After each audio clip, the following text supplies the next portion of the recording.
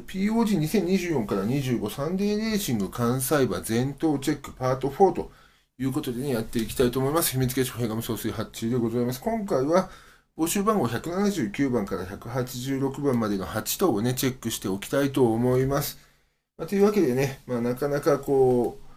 えっ、と、ジャスタウェイ、サートルナーディア、アドマイヤマーズ、この辺りをね、中心にこう、チェックしていくわけですが、まずはですね、え、ー、と、募集番号179番、エピックラブの22、牝馬、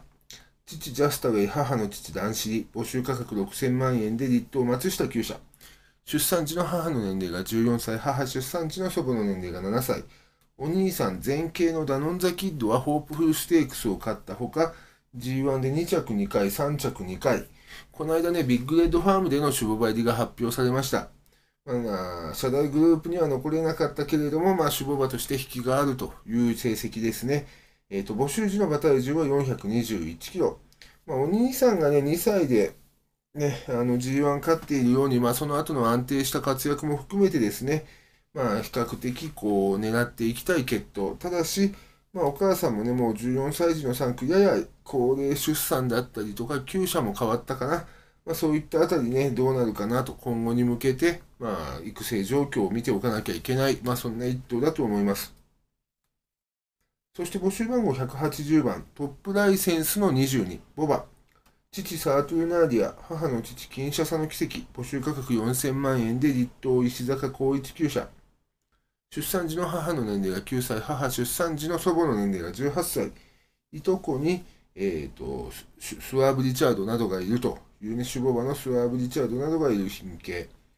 まあ、募集時の馬体重は418キロですね。6月1日時点と。まあ、品系はね、一流どころ、まあ、いとこが守護馬として上々のスタートを切りました。まあ、場合によってはね、今後、まあ、あのハーツクライの代表3区みたいな感じの扱い、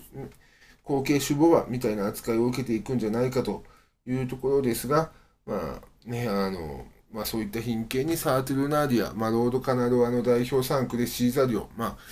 超一流の血統ですね。まあそういったね、品系でかなり上々のところですが、うん、厩舎も若手に変わったしというところでね、これもまあ、少しね、気に、あの、微妙な感じがするところです。そして181番、インナーアージの22、牝馬。父サートゥルナーリア母の父ディープインパクト募集価格4000万円で栗東田中克典厩舎出産時の母の年齢が12歳母出産時の祖母の年齢が8歳お姉さんブレイディヴェーグはエリザベス女王杯の勝ち馬。募集時の馬体重が374キロ、まあ、勢いのある牝系なんですけどもブレイディヴェーグもまあ秋夏の上り馬、3歳夏のね、上り馬で秋から活躍みたいな感じがあるところでね、まあ、なかなかこう、POG 向きかっていうと微妙なところ、まあ、POG 期間っていうことで考えて、まあね、あの狙うとなると難しいのかなという気がしてしまいます。そして182番、ローザ・ブランカの22、牝馬、父サートゥルナーディア、母の父黒船、募集価格6000万円で立東高野厩舎。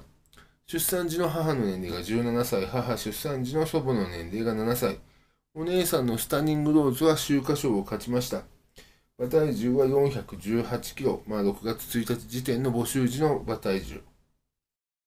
お姉さんのね、G1 勝ちなど、バラ一族復権期待という感じになってきたとは思います。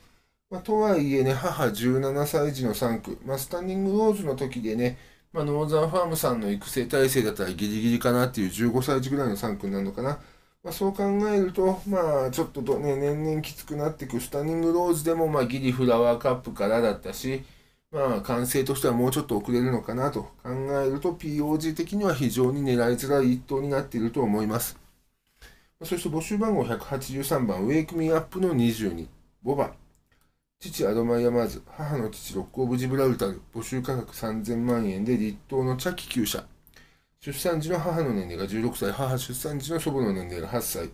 お母さんの弟に、まあ、ヨーロッパで合計 G13 勝したドーンアプローチ。募集時の馬体重は376キロと。まあ、ドーンアプローチもね、2000ギニーまでは非常に強い競馬を見せ続けて、まあ、ただその後ね、まあ、ミオスタチン配列 CC っていうことで、まあ、短距離向き、ダービー回避なんてことが一旦報じられつつも、馬主の意向で出走して大惨敗。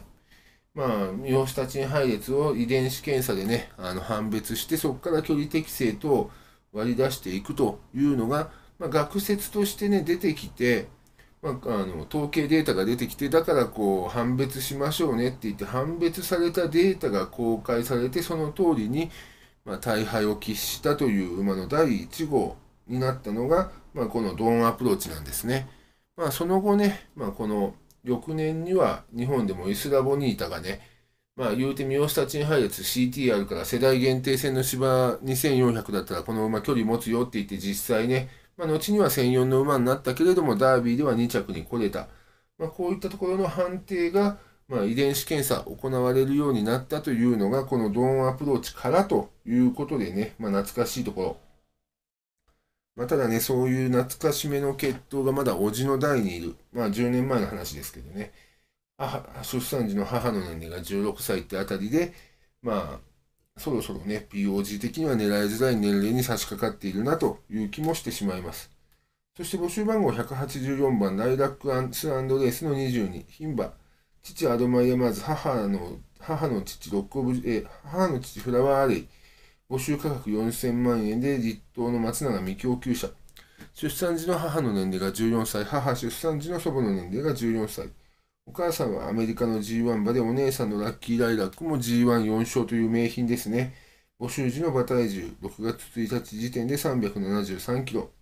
まあ、2歳戦から長く活躍をしたラッキーライラック。まあ、その妹ってことでね、まあ、父も変わってどうかなというところではありますが、まあ、多少のね、期待は持てるのかなという気がしております。